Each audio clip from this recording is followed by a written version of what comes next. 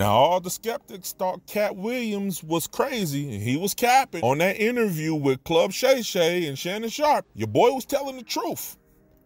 A lot of people, when they first heard it, they knew. I knew. A lot of people that understands and paying attention to the trends, they knew. But it was a lot of skeptics that didn't want to accept what Katt Williams was saying. Let's review some of what he said and get into what the latest news is. All of these uh, big dick deviants is all catching hell in 2024. It's up for all of them. It don't matter if you Diddy or whoever you is, TD Jakes, any of them. The, all, every all lies will be exposed. That's all. And, and, and anyone who takes that the wrong way, know why they take it the wrong way. Is no one else freaked out that Katt Williams said it was going to be the year of the truth?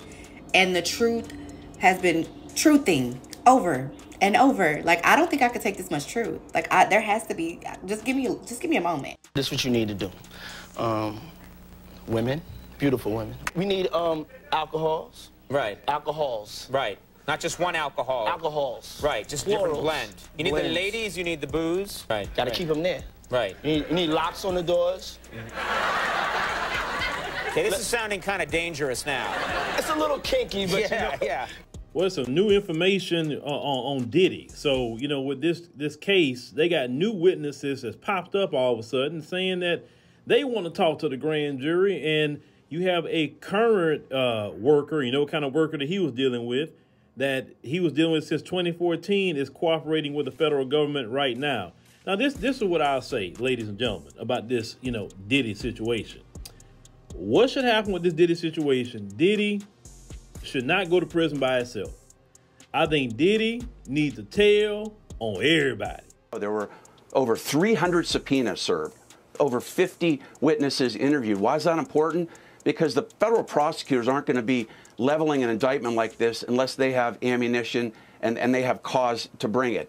And, and the, the core issue at this case, which the feds have to prove, which it's looking like they can, is that P. Diddy essentially controlled these women, that he, he threatened them uh, with, with stopping the money that he was paying them, that he spiked their drinks with drugs, that's been alleged in the indictment, and that he basically told them, I'm going to ruin your life unless you engage in these freak offs. If he go down, everybody go down with him.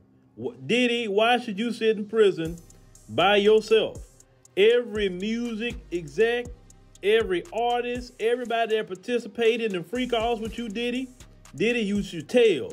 Tell the government, look, what kind of deal you gonna cut me if I really tell you all the big fish? I mean, I'm, I'm ready to tell everybody right now. You know what I'm saying? I'm saying. So let me know what kind of deal I'm gonna get, cause I'm telling.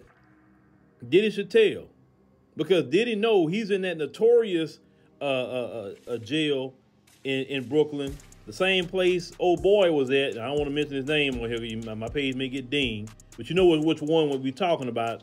Uh, the the billion, the other billionaire one, right? He in that same jail, and the longer Diddy in there, a lot of people feel that the same thing that happened to old boy may happen to Diddy, right?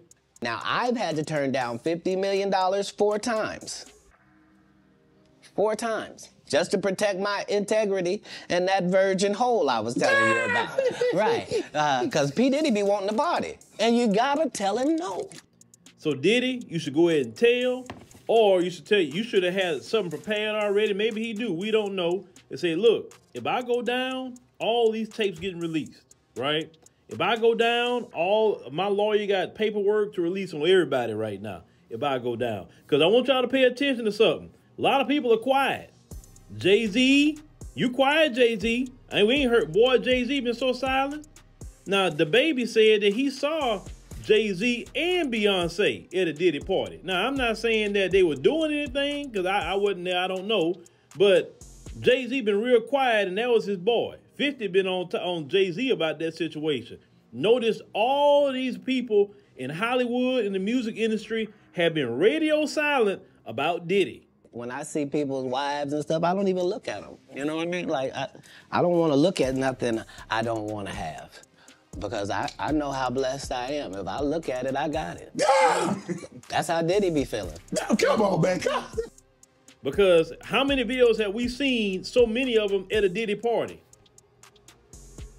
once again, I'm not saying they participated in a in a freak off, but I'm just saying, you know, why would he be inviting that many uh, commercial, you know what, workers to to his home? Why would he have a thousand doggone bottles of baby oil and, and everything else that he had up in there if he was just doing all this by himself?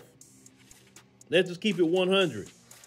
So, yeah, they're afraid. A lot of people right now are afraid. Just like they was afraid when old boy was in there too, because he had dirt on everybody. So the longer Puffy's in there, he in danger. I really think he is. I really think he is.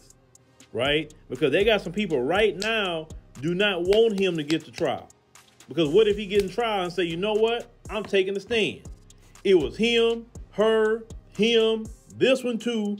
I got evidence. What if he say all that?